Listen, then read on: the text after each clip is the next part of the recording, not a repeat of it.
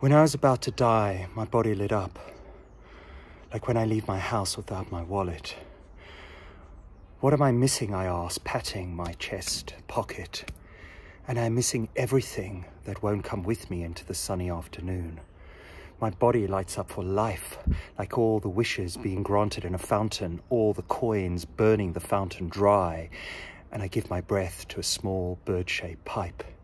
In the distance, behind several voices haggling, I hear a sound like heads clicking together, like a game of pool, played with people by machines.